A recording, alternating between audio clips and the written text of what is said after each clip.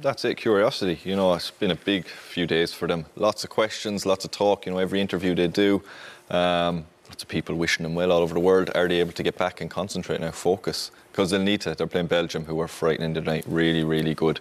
Um, so it'll be a tough task at the best of times for Denmark. Um, they'll can they switch back on, focus, and and you know show what they can do? Because coming into the tournament, they were quite a good record, some decent players. Um, you'd be you'd feel for them. You'd, you'd, you'd want them to perform. You're hoping that they can be galvanised, that all this brings them even closer together, better as a group, that to be able to put on a performance against Denmark.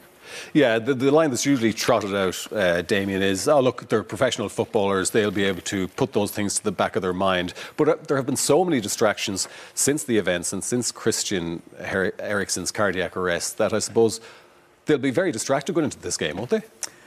Um, well, hopefully they'll be more in tune than they were possibly in the second half the other day. Uh, yeah. They've obviously had three, four days. Um, I believe they've been on to Christian Eriksen numerous times on FaceTime and what have you. Um, if there is one bonus or positive to come out of it, there was a real uh, pre Christian Eriksen cardiac arrest, there was a real disconnect between the Denmark players and, and the fans and the public. So I think it's just brought the whole country together. Um, so I think, in a way, it might have galvanised them if possible.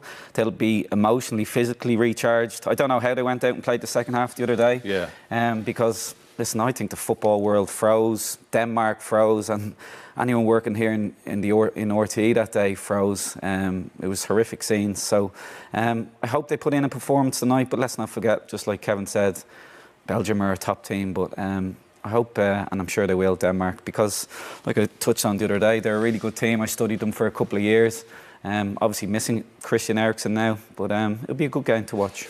Yeah, but the challenge, as you say, is absolutely massive facing Belgium. And Kevin, we were having a chat beforehand, and just the decision to play it, it, it now seems quite unusual, but I suppose under the circumstances on Saturday, uh, it was hard to make a rational decision for anybody, yeah. including the players. But the fact that they agreed to play against Finland, to play that last five minutes and then the second half, it was a bit unusual, wasn't it? Yeah, listen, I'm, i suppose the the euphoria they might have felt in the dressing room, finding out that he was all right, that he was awake, texting, giving thumbs up. They would have known all that. They would have got that information. Trying to put myself in their shoes, um, I'd imagine the UEFA official would have come in and their manager and the referee. And how do you feel? Do you want to play? These are your options. Play today, play tomorrow. We don't know exactly what options they got, um, but they decided to play. You know, they, they knew he was going to be okay then. So, um, listen, in an ideal world, you'd have, you'd have played the next day. But I can totally understand when you're a professional, you're a sports person, your brain works differently. You're not thinking, you know, you're focused so much on football and, and is he okay? Mm. Okay, we go on to the match now and we yeah. play. Um, you have dealt with a lot in your career, I suppose, as a sports person, professional, to get to that point.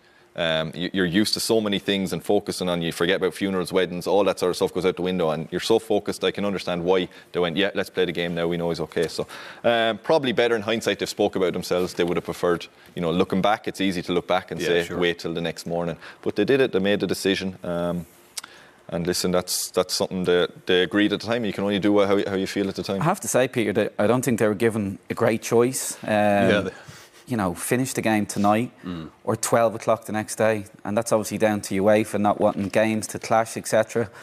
But it's funny that when they did play later that night, it clashed for half an hour with the Turkey game. So I thought it was really poor from UEFA. Uh, play the game the next night, you know, shouldn't have finished that day. Secondly, 12 o'clock, anybody that's played a 12 o'clock kick-off, Kev, you're getting up at half seven, eight in the morning, you're having pre-match, the lads won't have slept.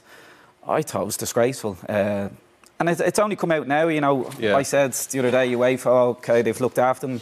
But it sounds like they haven't. Uh, and it sounds like a lot of them didn't want to play. And we'll see the footage later on this evening. But Simon Kjær, who's got a lot of plaudits, captain, fantastic, yeah. he had to leave the pitch after 60 minutes. So I think that speaks volumes. Yeah,